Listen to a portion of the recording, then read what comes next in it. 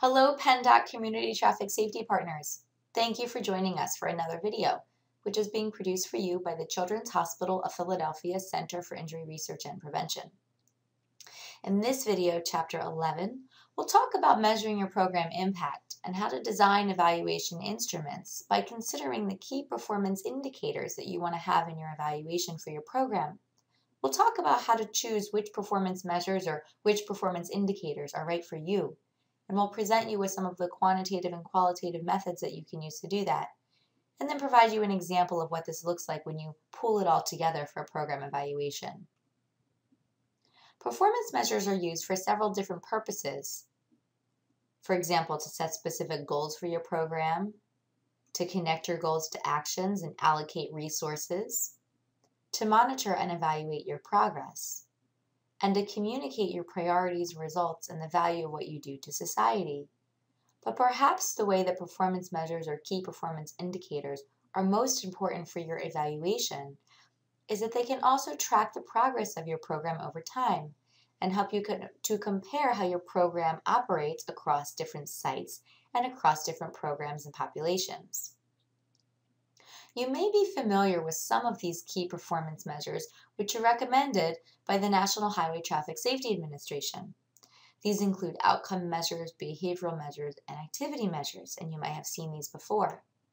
But there are some additional performance measures for teen driver programs specifically that go beyond measures of participation and satisfaction, which we think will be particularly helpful for you because they're specific, measurable, achievable, reachable, and time bound. These include measuring the attitudes, knowledge, and skills of your participants, judging their overall behavior change, their self efficacy, the frequency with which they engage in certain behaviors or disengage in certain behaviors, and their behavioral intentions. Let's talk a little bit more about what each of these mean. If you're looking to measure attitudes with your program, then you're looking to understand a relatively stable belief or feeling that your program participants have about a particular concept or a person or an object. And we infer somebody's attitudes by observing their behaviors. If we're looking to influence individuals' knowledge, then we want to increase their awareness or their familiarity with a certain concept. If we want to increase their level of ability or expertise with regard to driving, then we'd be looking to change their skills. If we want to affect behaviors, then we're interested in the way in which an individual acts or conducts themselves. Self efficacy refers to the judgment of one's capability to accomplish a certain level of performance. So, if we want to increase the likelihood that somebody is going to engage in a particular behavior, we often want to start by increasing their self efficacy or their self confidence to do that particular behavior. Frequency is a performance measure which refers to the rate at which a particular behavior occurs, perhaps how often somebody does something or doesn't do something. And behavioral intentions refers to the person's perceived likelihood or their subjective probability that they will engage in a given behavior, which we're asking them about in our program. What teen driving issues could you evaluate with these measures? For example, seatbelt use of the driver and the passenger, speeding practices, distracted driving through phones or by other passengers in the car, driving skills and experiences, impaired driving, and drowsy driving. Now that you've chosen your performance indicators, how are you going to collect information about them so that you know the degree of change that your program is causing for these performance indicators? You have two basic options. Remember that quantitative methods are those that are going to express your results in numbers.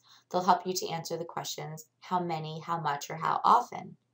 While qualitative methods are those that will express their results in words, ideas, and concepts. They'll answer the questions how and why. This table provides you with a brief snapshot of some of the options that are available to you for quantitative and qualitative data collection. We'll talk in more detail about these in chapters 12 and 13. Quantitative data that might be helpful for your measuring your performance indicators for your evaluation includes surveys, record reviews, indicator data, GIS or geographical app data, and performing an environmental assessment. Qualitative methods that might be helpful for you include open-ended survey interviews, in-depth interviews, diaries of your participants, focus groups, observations, and newspapers or other media. Again, we'll talk more about these in chapters 12 and 13. This table shows you one of many options that we have designed for you in your resource book to get you started with the types of questions that you could include for your performance indicators. For example, if you chose your performance indicator was distracted driving, you might ask questions like, for self-efficacy, how likely are you to do or say something to your driver if they're talking on a handheld cell phone while driving? For attitudes about distracted driving, do you support a state law banning talking on a handheld cell phone while driving? Behaviors toward distracted driving might include questions like, when you receive a text message while driving, how often do you answer the text? And for behavioral intentions toward distracted driving, we might ask somebody to rate the agreement or disagreement that they have with statements like, I would be more likely to give up using my cell phone while driving if my mom or dad made me do it. My friends gave up their cell phones while driving. I got a discount on my insurance, etc. Again, please see the resource book for a number of examples of different types of questions that match different key performance indicators that we feel would be most helpful that you would be likely to use for your program evaluations. What does this look like when we pull it all together? Recall from our earlier chapters that our programs have an overall goal, for example, to reduce teen driver crash rates.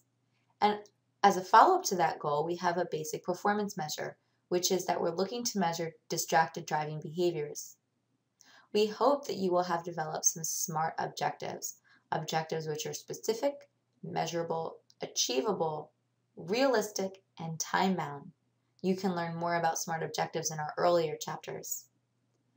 As we've been discussing in this chapter, you may also have different measurement categories. Perhaps you're interested in looking at the frequency of distracted driving from participants in your program their attitudes towards distracted driving, or their behavioral intentions toward distracted driving.